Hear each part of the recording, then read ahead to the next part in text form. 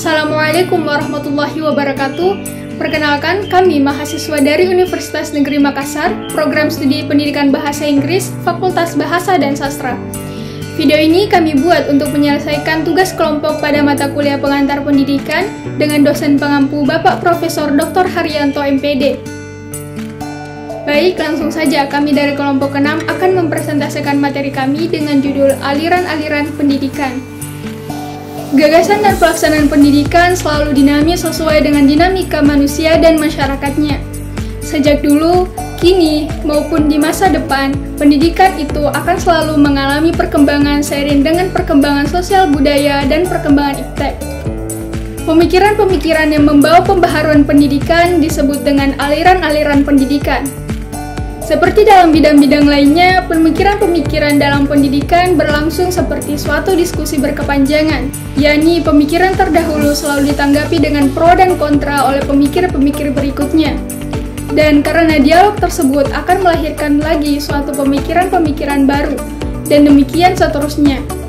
Agar diskusi berkepanjangan ini dapat diikuti dan dipahami, maka berbagai aspek dari aliran-aliran itu harus dipahami terlebih dahulu. Oleh karena itu, setiap calon tenaga kerja kependidikan, utamanya calon pakar kependidikan, harus memahami berbagai aliran-aliran itu agar dapat menangkap makna setiap gerak dinamika pemikiran-pemikiran dalam pendidikan itu. Pemikiran-pemikiran tentang pendidikan yang telah dimulai pada zaman Yunani kuno dan dengan kontribusi berbagai bagian dunia lainnya, akhirnya berkembang dengan pesat di Eropa dan Amerika Serikat. Oleh karena itu, baik aliran-aliran klasik maupun gerakan-gerakan baru dalam pendidikan pada umumnya berasal dari kedua kawasan tersebut. Aliran-aliran klasik yang meliputi aliran-aliran empirism, nativism, naturalism, dan konvergensi merupakan benang-benang merah yang menghubungkan pemikiran-pemikiran pendidikan di masa lalu, kini, dan mungkin yang akan datang. Aliran-aliran itu mewakili berbagai variasi pendapat tentang pendidikan, mulai dari yang paling pesimis sampai dengan yang paling optimis. Banyak pemikiran yang berada di antara kedua kutub tersebut, yang dapat dipandang sebagai variasi gagasan dan pemikiran dalam pendidikan. Manusia merupakan makhluk yang misterius. Dalam paparan tentang landasan psikologi pada bab 3 butir A4 telah dikemukakan perbedaan, Bahkan, pertentangan pendapat tentang hakikat manusia ditinjau dari segi psikoedukatif, utamanya pada teori kepribadian. Sehubungan dengan kajian tentang aliran-aliran pendidikan, perbedaan pandangan berpangkal pada perbedaan pandangan tentang perkembangan manusia itu. Terdapat perbedaan penekanan di dalam suatu teori kepribadian tertentu tentang faktor manakah yang paling berpengaruh atau dominan dalam perkembangan kepribadian. Teori-teori dari strategi disposisional, terutama yang berdasarkan pada pandangan biologis atau konstitusional dari Kretschmer dan Sheldon, memberikan tekanan pada pengaruh faktor hereditas. Sedangkan teori-teori dari strategi behavioral dan strategi fenomenologis menekankan pada faktor belajar. Bagi Locke, knowledge comes from external stimulation that man is a receiver and transmitter of information. Seperti diketahui, pandangan kita bahwa siswa itu bukan hanya receiver and transmitter, tetapi juga generator of information. Perbedaan pandangan tentang faktor dominan dalam perkembangan manusia tersebut menjadi dasar perbedaan pandangan tentang peran pendidikan terhadap manusia. Aliran empirism bertolak dari Lockean tradition yang mementingkan stimulasi eksternal dalam perkembangan manusia dan menyatakan bahwa perkembangan anak tergantung kepada lingkungan, sedangkan pembawaan tidak dipentingkan. Stimulasi ini berasal dari alam bebas ataupun diciptakan oleh orang dewasa dengan bentuk program pendidikan. Tokoh perintis pandangan ini adalah seorang filsuf dari Inggris yang bernama John Locke yang mengembangkan teori tabula rasa yakni anak yang lahir di dunia bagaikan kertas putih yang bersih. Menurut pandangan empirism, pendidik memegang peranan yang sangat penting, sebab pendidik dapat menyediakan lingkungan pendidikan kepada anak dan akan diterima oleh anak sebagai pengalaman-pengalaman, yang di mana pengalaman-pengalaman itu tentunya yang sesuai dengan tujuan pendidikan. Aliran empirism dipandang berat sebelah sebab hanya mementingkan peranan pengalaman yang diperoleh dari lingkungan, sedangkan kemampuan dasar yang dibawa anak sejak lahir dianggap tidak menentukan. Meskipun demikian, penganut aliran ini masih tampak pada pendapat-pendapat yang memandang manusia sebagai makhluk yang pasif dan dapat dimanipulasi, umpama melalui modifikasi tingkah laku. Hal itu tercermin pada pandangan scientific psychology dari B.F. Skinner, Pandangan behavioral juga masih bervariasi dalam menentukan faktor apakah yang paling utama dalam proses belajar itu sebagai berikut. Pertama, pandangan yang menekankan peranan stimulus atau rangsangan terhadap perilaku seperti dalam classical conditioning atau respondent learning. Kedua, pandangan yang menekankan peranan dari dampak ataupun balikan dari suatu perilaku seperti dalam operant conditioning atau instrumental learning. Halo semua, nama saya Nadia Nahda. Di sini saya akan melanjutkan penjelasan dari beberapa poin yang telah disebutkan saudari yaitu aliran empirisme. Sekarang kita beralih ke aliran nativisme. Tahukah kalian apa yang dimaksud dengan aliran nativisme? Ya, benar sekali. Aliran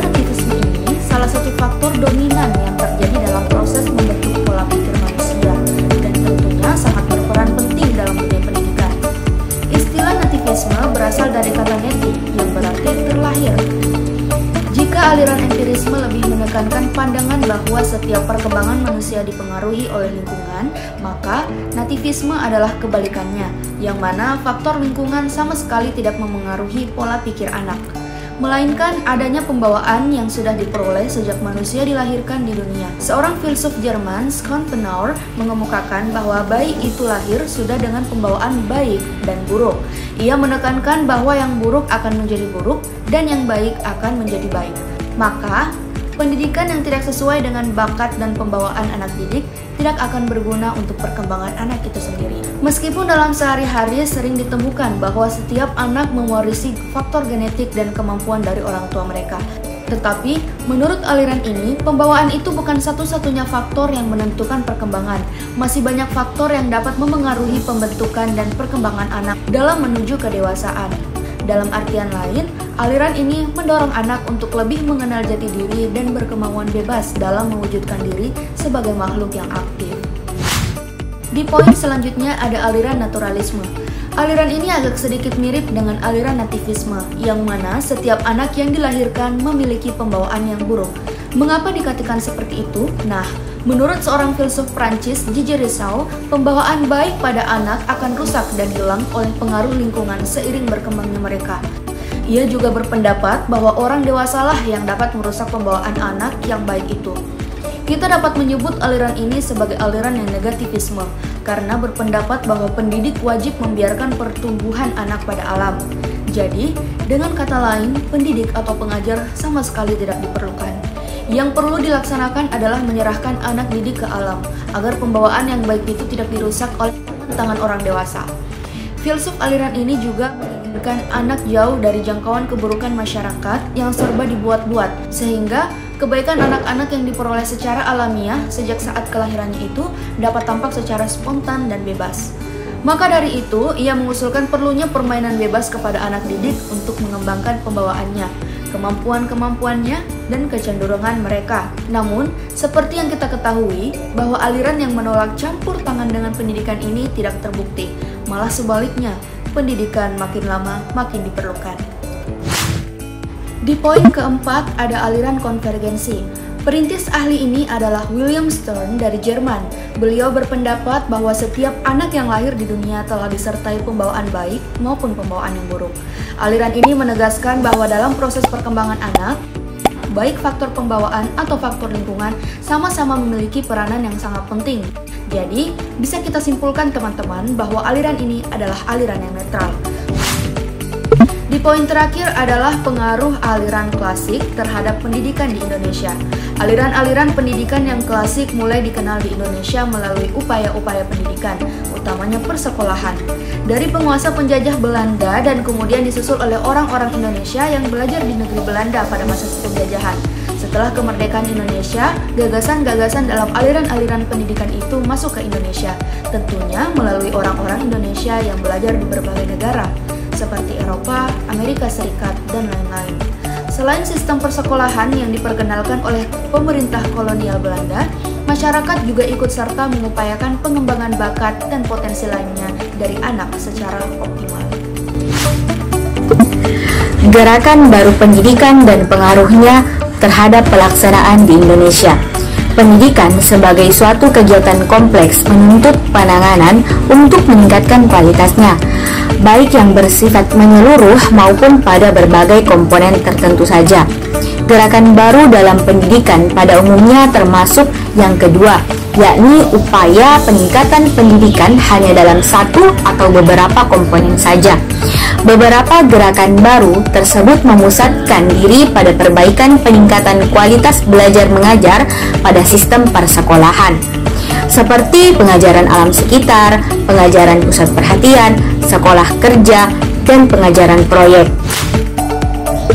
Yang pertama, pengajaran alam sekitar. Gerakan pendidikan pengajaran alam sekitar adalah pengajaran yang dapat dimaknai sebagai proses mengubah tingkah laku anak didik agar menjadi manusia dewasa yang mampu hidup mandiri sebagai anggota masyarakat dalam lingkungan alam sekitar di mana individu tersebut berada. Dan yang dimaksud alam sekitar meliputi lingkungan keluarga, sekolah, masyarakat, dan lingkungan sekitar lainnya. Perintis ajaran ini antara lain adalah F.R.A. Finger di Jerman, Heimat Kunde, pengajaran alam sekitar, dan J. Lecter di Belanda dengan Het Televen, kehidupan senyatanya. Alam sekitar sebagai fundamental dan pengajaran memberikan dasar emosional sehingga anak menaruh perhatian yang spontan terhadap segala sesuatunya yang diberikan kepadanya asal itu didasarkan atas dan diambil dari alam sekitarnya.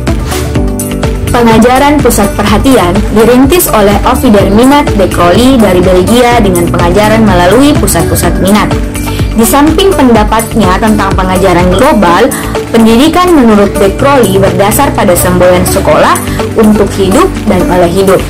Anak harus dididik dapat hidup dalam masyarakat dan dipersiapkan dalam masyarakat.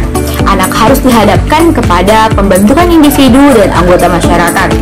Crowley menyumbangkan dua pendapat yang sangat berguna bagi pendidik dan pengajaran yaitu metode global dan metode center de inter yaitu pusat-pusat minat. Gerakan sekolah kerja dapat dipandang sebagai titik kulminasi dari pandangan-pandangan yang mementingkan pendidikan, keterampilan dalam pendidikan J.A. Comenius menekankan agar pendidikan mengembangkan pikiran, ingatan, bahasa dan tangan, keterampilan kerja tangan.